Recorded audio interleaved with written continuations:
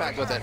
Instead, it's Navi just charging out the top mid, and once again, Luminosity, no fear at all from Master Flash. Totally effective, actually. Oh, gets the shot onto flamie, even spots the man. Good night, Zeus! Trying to make me think they could run him down, the trade gets something back, but the whole push comes out, and it just doesn't happen. It's FalleN with a third kill now going into Taco taking the fight with Seized. He's gonna get the fight, and this is... Oh, right before this map even began,